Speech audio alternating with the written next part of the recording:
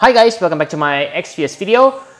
Now I'm gonna talk about Aldore King Rain. There are lots of good news today. First about, yeah, no 7 phase on the global. I'm really happy. You can watch about that on previous video.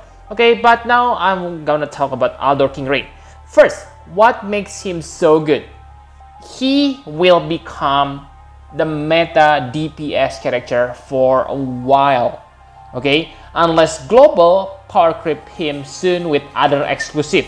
We have christmas event so yeah maybe they will creep him again on christmas but i doubt that because i think they will release magician on i mean for christmas event instead of physical attackers okay? Because it's kind of boring if they release physical on halloween and physical on christmas.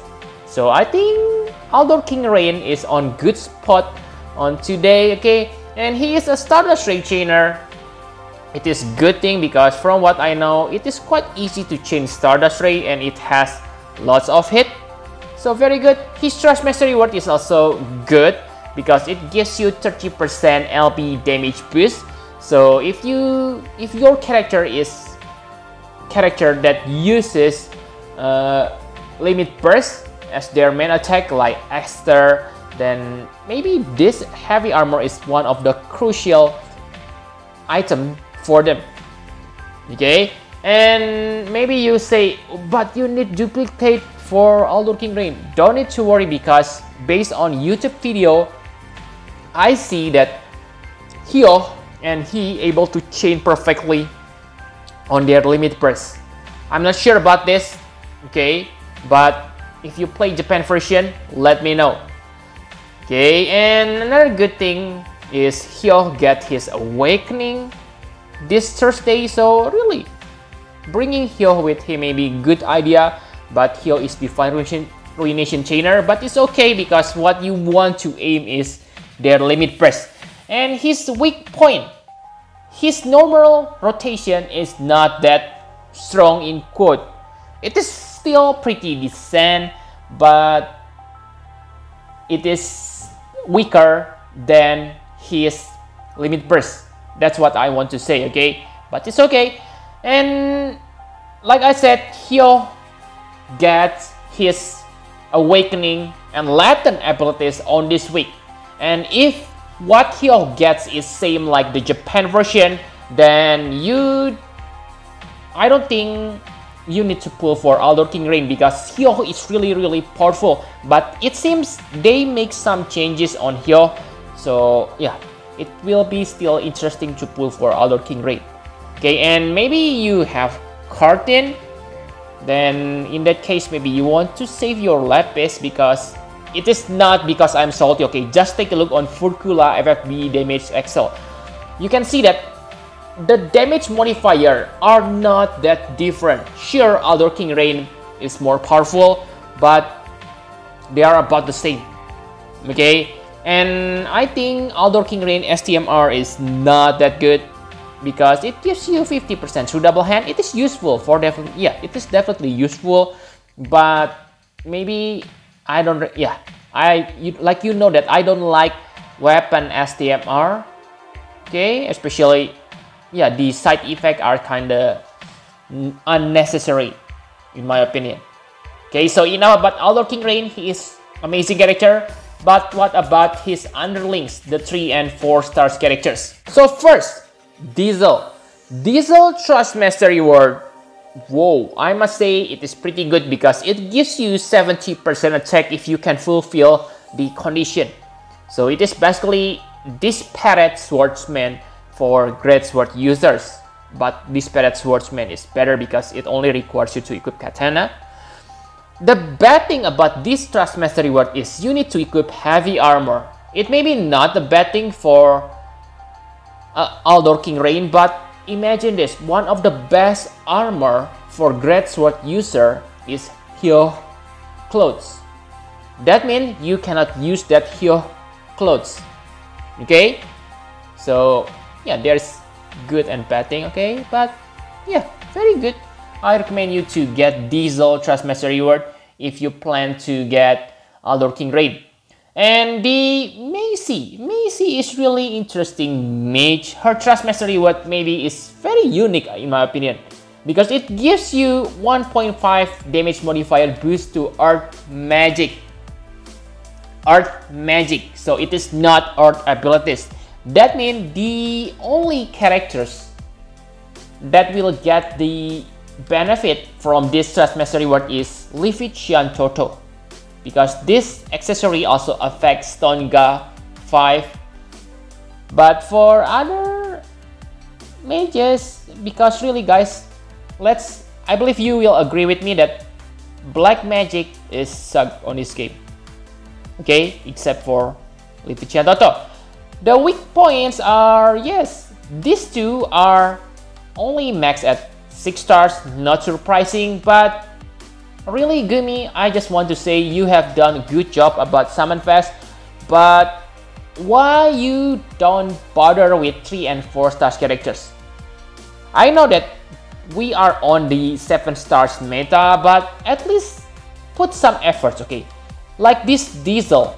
Diesel cannot change with anything. Why you don't give characters, I mean not her, other new 4 stars base characters like an ability to chain with Absolute Mirror of Equity or Stardust Ray or whatever. Okay, why you don't do that? That kind of blew my mind because it's kind of repel new players into this game. Okay, so enough about the short preview. Now, should you summon? The answer is depends. I have said this on my some yeah, I forgot which video, but I have said that the rule of thumb for you before pulling newer DPS is make sure that new DPS deal at least 30% more damage compared to your top DPS right now. So let's say if your top tier attacker, physical attacker right now is still Esther, Zeno, okay, those level, that level, okay, Esther Zeno level, then I think you should pull for Aldore, Aldore King Rain because Aldore King Rain DPS is better than, yeah, 30% or maybe even more than those characters.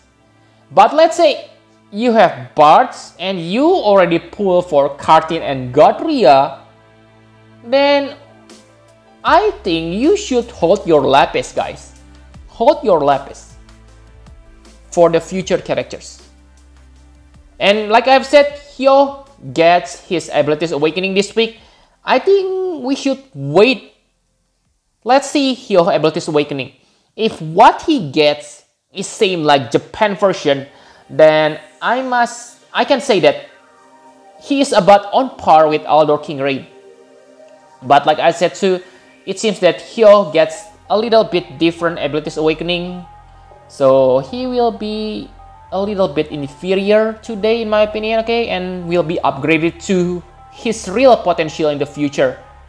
Because they something like they say something like latent abilities awakening or whatever on the future on few on the FFB official channel video. Okay, I don't I don't remember. But yeah, Aldore King Rain gonna be base meta.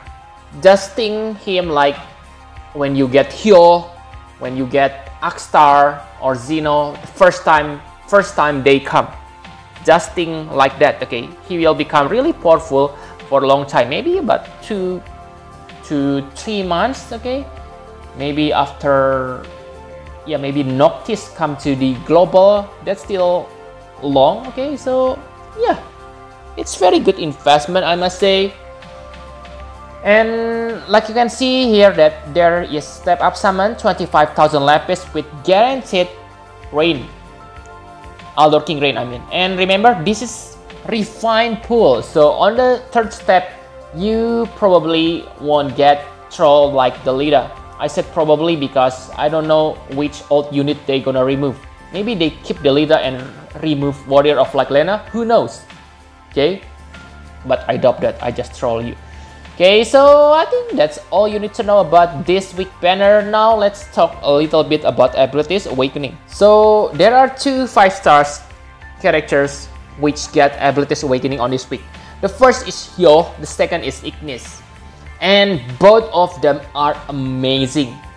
For Hyoh, I only can hope it will be the same or a little bit less powerful than the Japan version because on the global, you need to have Aldore King Rain on your party to trigger some damage boosting abilities on Hyoh.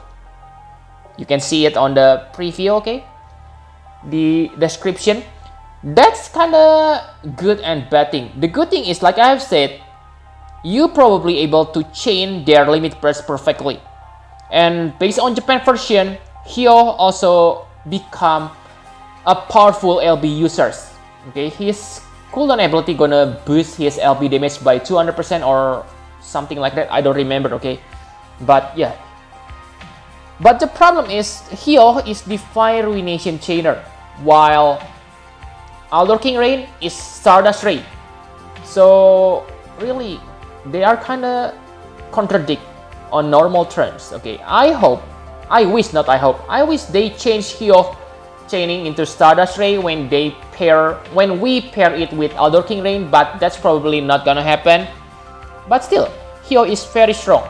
I think after this week we're gonna see three characters for leader. I mean four, okay, four. Kartin, Gadria, Aldore King Rain, and Hyoh. Because I think after this after on this Thursday, those four gonna be the strongest physical attackers Okay, so that's it. Let's just wait until Thursday. I will make full review for all the characters. Another interesting thing about Ignis is I'm not sure about his Japan awakening. Okay, I don't I didn't check him, but his global is pretty amazing, guys. I really whoa. I have five Ignis if you don't know, and yes, I really want to awaken him ASAP because he has 200% all stats buff from the first turn. That lasts for 4 turns, okay? So that's pretty insane, okay? 200% all stats buff.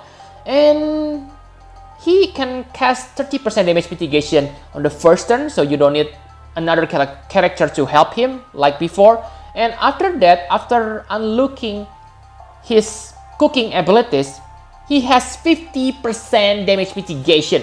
Wow, that's pretty insane. And not only that, he also has 80% all elementaries buff. So he's kind of become Sylvie on steroid. Okay?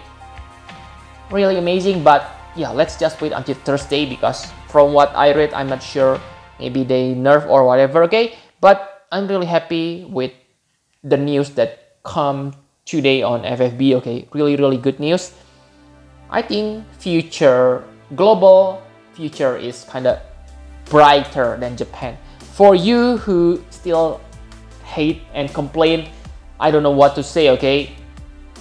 What I can say is, yeah, just enjoy the game. If you think the game is really, really bad, then just stop playing. But I really like this game. And after hearing that news, oh, I become very, very happy, okay? So, yep, I think that's all you need to know about this uh, King Rain banner. If you need to know about the Summon Fest global system, watch my previous video, okay? Thank you very much for watching. Please hit the like button and subscribe to my channel for more Final Fantasy Fierce Guide. Bye bye guys!